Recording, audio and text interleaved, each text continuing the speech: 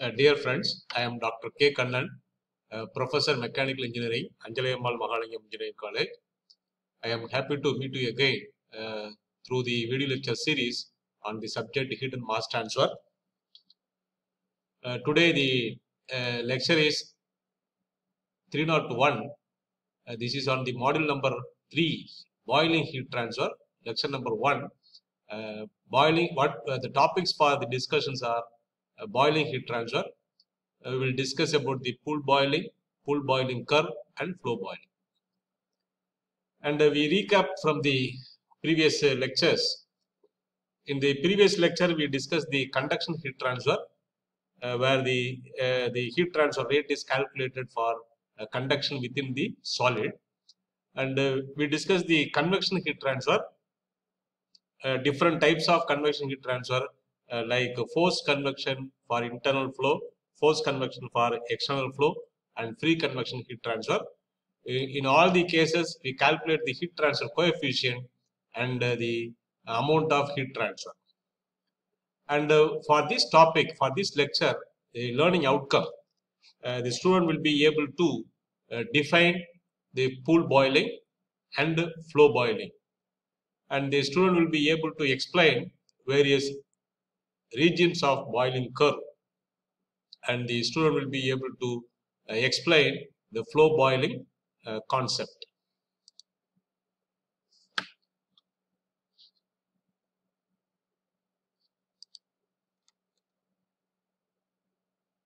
So boiling heat transfer. So uh, this term terminology is very much familiar to us.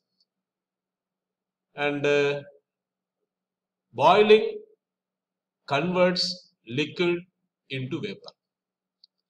There are another there is another term evaporation.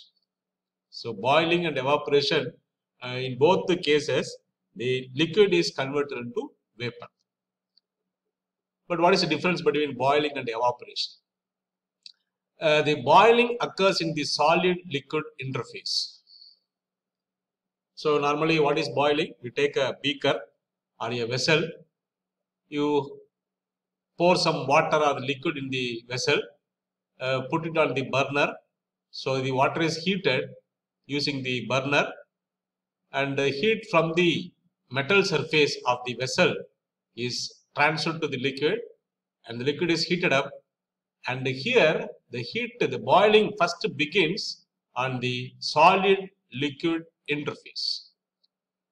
Whereas evaporation how the evaporation taking place so you take a open pond or lake so the top surface liquid surface is exposed to the sunlight solar heating the the top surface of the liquid is heated up and converted into vapor. So the evaporation occurs in the liquid vapor interface. The boiling occurs in the solid liquid interface. So the both are converting the liquid into vapor.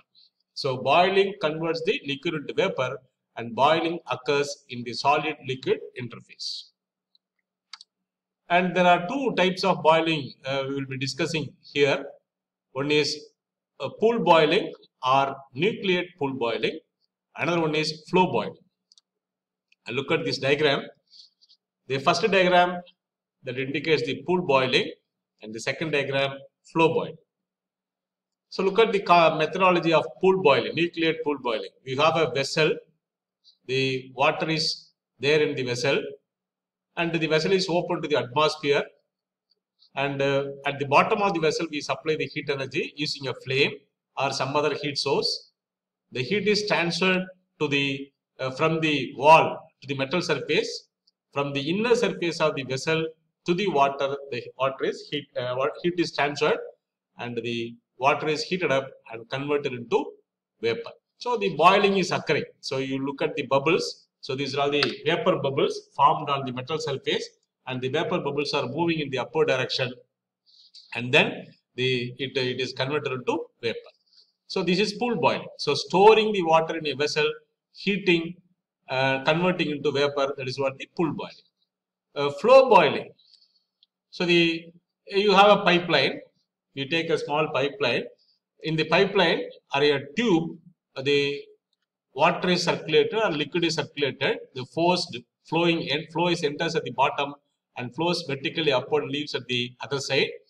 Now heat is supplied to the wall. The heat transfer takes place from the pipe wall to the liquid and here again the boiling is occur occurring and the uh, what liquid is converted into vapor. So the fluid is flowing and uh, the boiling is occurring that is called as flow boiling. So both are important for the for converting water into or uh, liquid into uh, the vapor phase. And both are used in the power plant, nuclear power plant, thermal power plant. Uh, here, uh, water is heated. You take in the previous semester you, you studied about the water tube boiler or uh, fire tube boiler in the in a boiler there is a vessel where you are we are storing the water and heating the water uh, converting into vapor. The vessel heating the water in a vessel it is what pool boiling. And if you look at look at another type of boiler where water tube boiler where the water is circulated through the uh, tubes and converted into vapor that is what the flow boiling. So both are important for uh, thermal power thermal power plant. So we will be discussing the boiling curve nucleate pool boiling curve. And uh, you take this diagram, there are four diagrams here. The natural convection boiling, nucleate boiling, transition boiling and the film boiling. There are four regimes of the nucleate pool boiling. The natural convection, uh, nucleate boiling, transition boiling and the film boiling. And look at the natural convection boiling. Uh, what is what is there in the diagram? There is a vessel. The vessel body metal temperature is 103 degrees Celsius. The water is at uh, 100 degrees Celsius. That is open to atmosphere, atmosphere temperature. It is at a, sorry, uh, it is at a saturated temperature 100 degree Celsius. Now the heat is transferred. So because the metals, there is a temperature difference between the metal surface temperature and the liquid temperature. There is heat is heat transfer. And here the liquid is stagnant liquid is not moving, the liquid is stagnant and this is natural convection boiling, natural convection in the boiling regime. So the natural convection heat transfer. So look at the boiling curve. So the uh, temperature difference is taken in the x-axis. T, Ts is the surface temperature, T saturation is the saturation temperature of the liquid and delta T is taken in the x-axis and the amount of heat transfer is taken in the y-axis and look at here there is gradual increase in the heat transfer amount of heat transfer is gradually increasing. And how to calculate the heat transfer here? In the previous lectures, we studied about the natural convection heat transfer and uh, the amount of heat transfer uh, in natural convection equal to Q equal to HA into delta T, where H is the heat transfer coefficient for uh, natural convection and we use the Nusselt number to calculate the heat transfer coefficient. So free convection or natural convection we discussed earlier and the, uh, the calculations in the natural convections are applicable from the up to the point A, that is natural convection boiling. After natural convection, what happens? Further temperature is temperature is the heating is continuous. The vessel temperature is increasing. So the vessel temperature we assume 110 degrees Celsius. Now what happens? There will be small bubble formation on the metal surface. Because of the higher heat in the surface uh, than the water, there is a small bubble formation.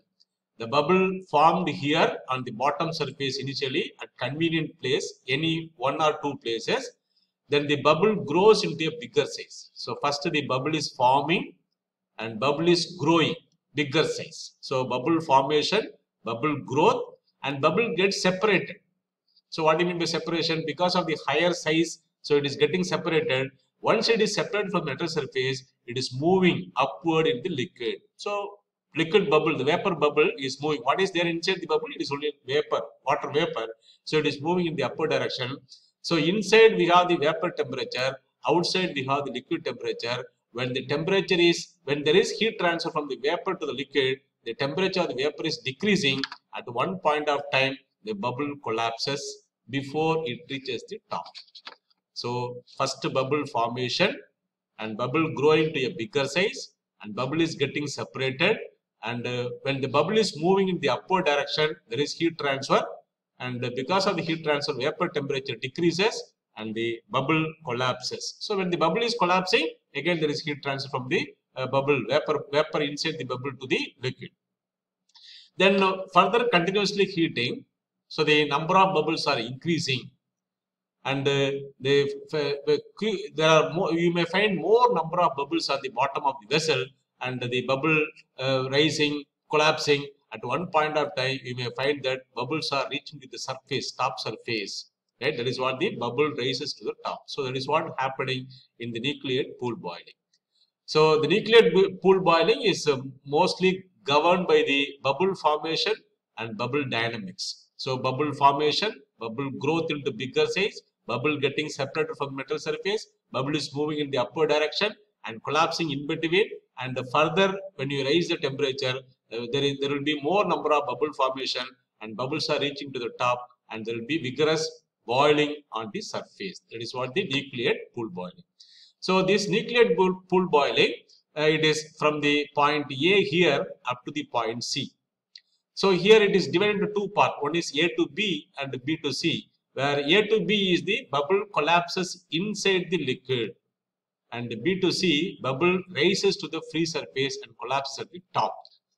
So if you look at the heat transfer, the amount of heat transfer is increasing at a faster pace, steep increase in the heat transfer. That is what you find here from A to C.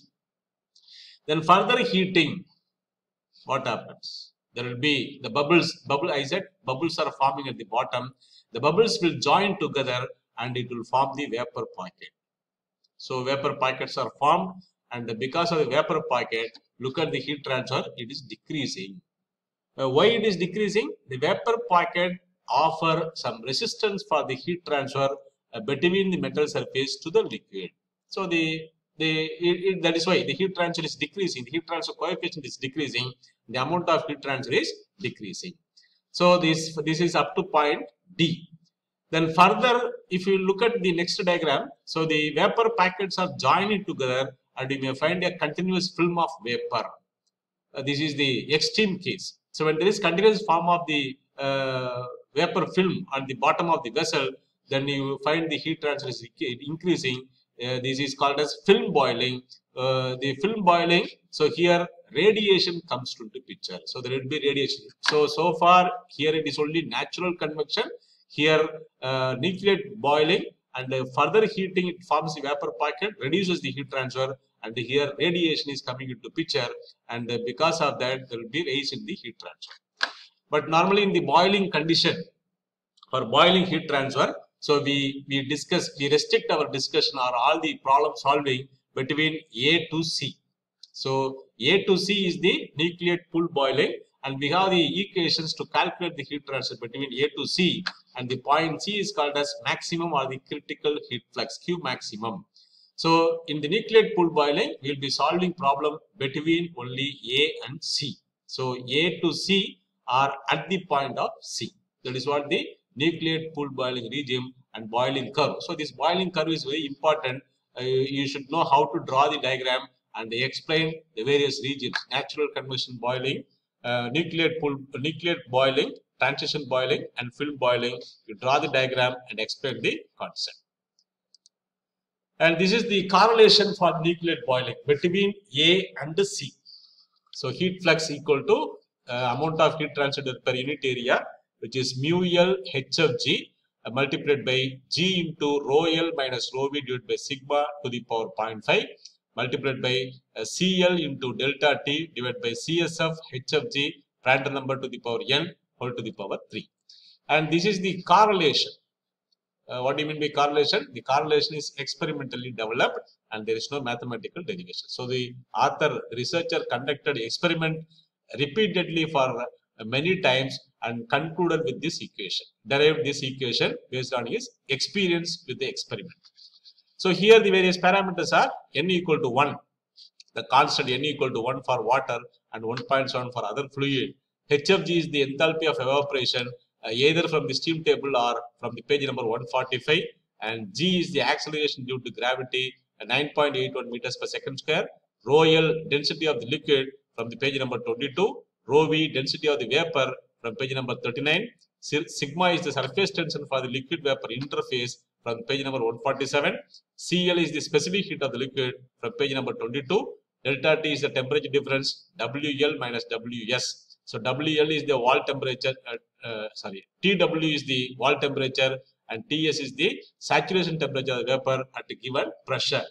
And CS is the constant, you refer to the page number 144 and Prandtl number of the liquid equal to, uh, we have to take it from the page number 22. So referring to the heat and mass transfer data book for various parameters, you can take the parameters and substitute here uh, calculate the heat transfer. So it is relatively easy. This equation is available in the heat and mass data book and you have to uh, understand the parameters, take the parameters from the heat and mass data book and substitute the values and carefully use your calculator and solve the problem.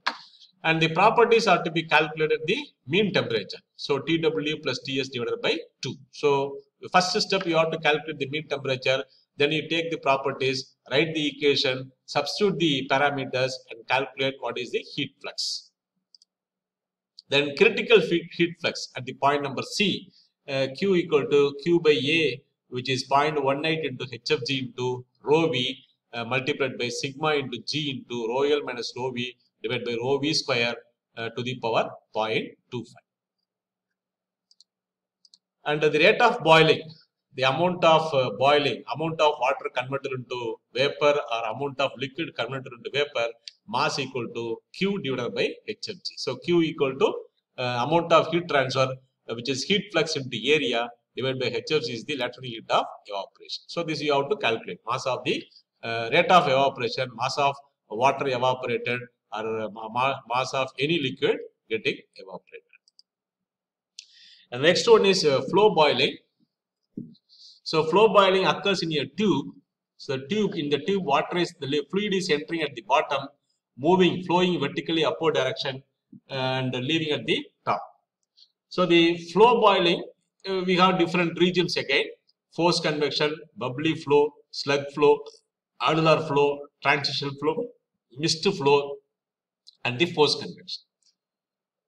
Uh, here, force convection, but the it is in liquid phase the fluid is in the liquid phase. So you assume water is entering here uh, and uh, there is force convection heat transfer. So the pipe is heated, heat is uh, supplied to the pipe and the heat is transferred to the water. So here the force convection correlation, what we discussed, force convection for internal flow that is applicable here and uh, the water is further moving. So water is heated, there is higher temperature of the water now you may find bubble formation on the side of the pipe wall, surface of the pipe and bubbles are again flowing along with the liquid because it is continuously flowing. There is a forced convection. There is a pump circulating the uh, water or the liquid. So the bubbles are also moving in the vertical direction. So this is called as bubbly flow. There will be water and bubbles flowing. And uh, when you further move in the upward direction, the number of bubbles are increasing.